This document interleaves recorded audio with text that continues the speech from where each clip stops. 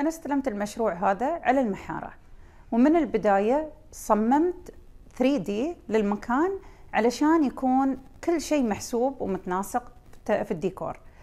آه بعد الديكور سويت أعمال الأصباغ والطلاء وبعدين رجعت وسويت آه آه أعمال الديكور نفذتها كأخشاب كماتريس كإكسسوارات. آه وصلت المرحلة آه وصلت الفيلا للمرحلة النهائية. وبالنسبة للشقق نفس الشيء. بديت من الألف للياء. آه اختلاف الألوان. أنا ما حصلت تحدي قوي ينافسني أو يحسسني أني أنا آه لازم أحس أني أنا آه أبذل جهد أكثر. فأنا أتمنى أحصل هالتحدي اللي يحفزني أكثر ويخليني أشجع أني أنا أسوي شيء أجمل بعد. لا هو لازم طبيعة المكان. يعني في أماكن ما تصلح لأثاث ثقيل. لازم يعني مثلا الشقة أثاثها يكون أخف جدا عن الفلل. وبعدين تحكمني المساحات. أما الألوان لا أنا أختارها. على حسب المناخ عندنا. إذا الجو حار أختار الألوان الدافية الهادية اللي ما تسحب لي حرارة. بالعكس تعكس الحرارة.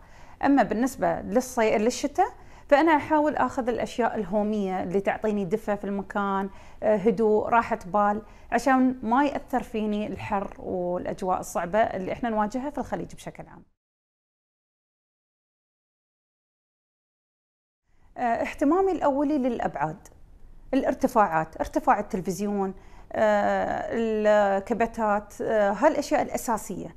أما الأشياء المتحركة فهاي عادي عندي. تتبدل حتى لو كل ست شهور أقدر أبدلها. وبعدين أنا حطيت أثاث ثابت اللي هو الألوان الفاتحة اللي هو البيج وأغير ال cushions إذا مليت بعد فترة. ما يكون تغيير جذري يخسرني يعني كشركة أو كبيت أو كساكن.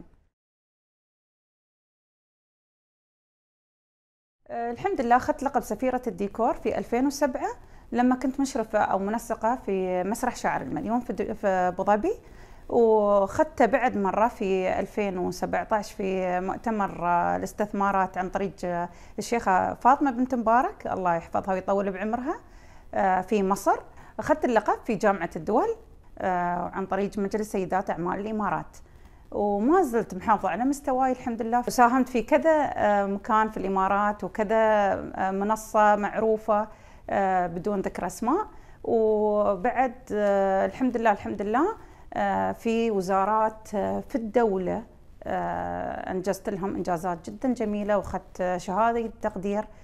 وأجمل خطوة أنا أحس أني أنا أنجزتها في حياتي أني أنا أعطي محاضرات تثقيفية مجانا لكل مواطن في الدولة أو وافد في الدولة يحضر المحاضرة عندي. دولة الإمارات ما قصرت معايا. سهلت لي الرخص العمالة تخفيضات سووا لي في الرسوم. وفروا لنا أماكن نقدر نفتح فيها مصانع. وفروا لنا أمن وأمان في حال أن الحرمة موجودة بين العمال بهالطريقة يعني. بالعكس دائما يمرون علينا يشوفون شو فينا. يشوفون إذا في في يوم من الأيام مشاكل عمالية مثل ما أنتم تسمعون عنها. فالحمد لله يعني يكفي إن الدورية تمر عند البيبان كل فترة وفترة إذا في شيء يردعهم الحمد لله.